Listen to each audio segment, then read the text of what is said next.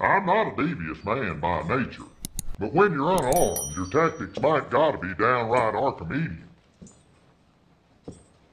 Surly, Joe the gambler, he will gamble